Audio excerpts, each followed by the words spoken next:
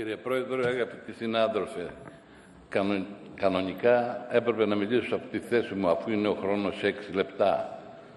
Όταν είναι πάνω από 8, τότε παίρνει κανείς το βήμα. Αυτή είναι η πραγματικότητα. Εκτός αν τον αλλάξετε και αυτό. Πριν, πριν, πριν από 10, έτσι παλιότερα.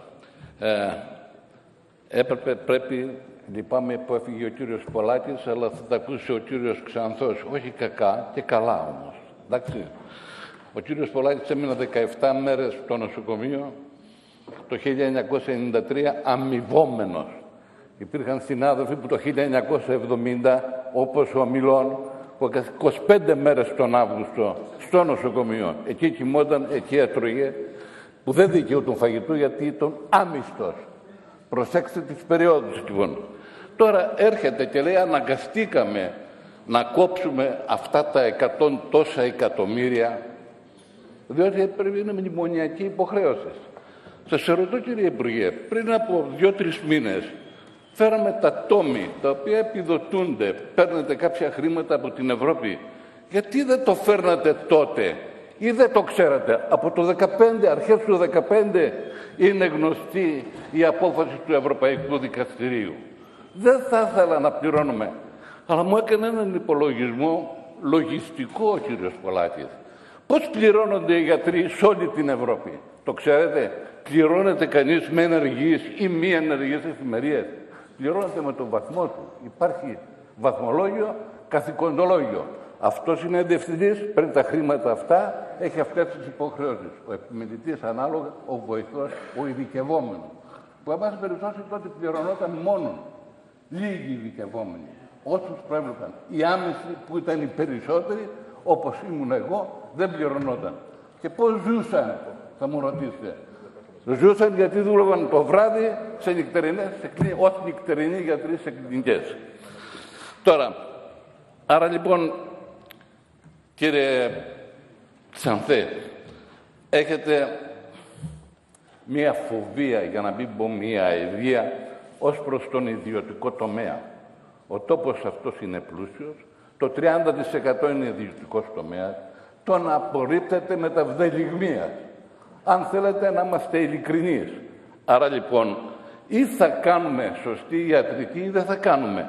Και επειδή δεν θέλω να μπαίνω σε μικρολεπτομέρεια, θα σας πω τι πρέπει να κάνουμε.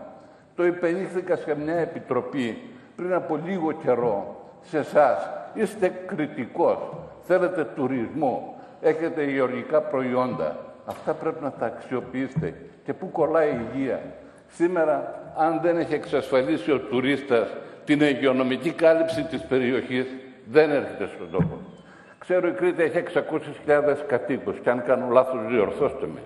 Αλλά έχει περίπου και 2, 2,5 και 3 εκατομμύρια λέγεται. Πρέπει να εφημερεύουν όλα τα νοσοκομεία ή πρέπει να εφημερεύει στις ομαλές συνθήκες ένα Πραγματική εφημερία όμως, με όλες τις ειδικότητε, έχετε πανεπιστήμιο. Άρα όλες οι περιφέρειες που έχουν πανεπιστήμιο, επειδή έχουν όλες σχεδόν τις ειδικότητες, αυτά πρέπει να είναι εφημερεύοντα. Πρέπει να εφημερεύουν 120 νοσοκομεία με πλασματικές στοιχεία, ό,τι να φανταστεί κανείς άλλος εφημερίας. Αλλάξτε το σύστημα. Αν δεν τον αλλάξετε το σύστημα, δεν μπορείτε να προχωρήσετε. Και πάνω απ' όλα, ιδιαίτερα για την Κρήτη, Δικαιολογώ αεροκομιδές κάποια σε νησιά. Δεν δικαιολογώ όμως τη χαλκιδική αεροκομιδή. Υπάρχει ένα νησί, αν ήταν νησί θα το δικαιολογούσα. Είναι μουλιανή.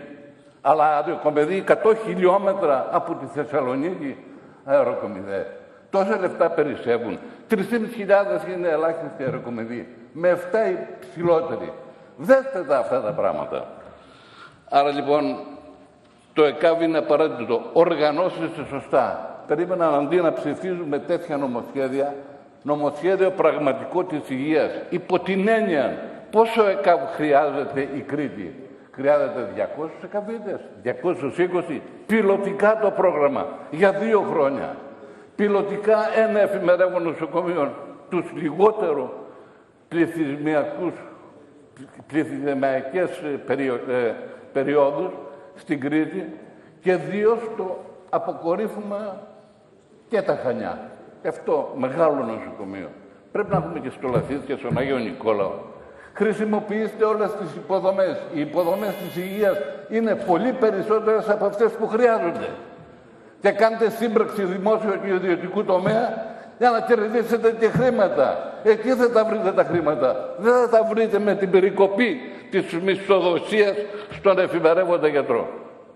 Αυτό είναι επίοικος απαράδεκτο κατά τη δική μου άποψη. Δεν διεκδικώ το αλάθητο, αλλά διεκδικώ το σωστό και το ίδιο.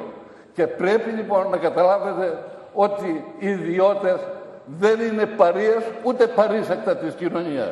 Δουλεύουν σκληρά, σωστά και πολύ πιο φθηνά. Σας ευχαριστώ πολύ κύριε Πρόεδρε. Ευχαριστούμε πολύ.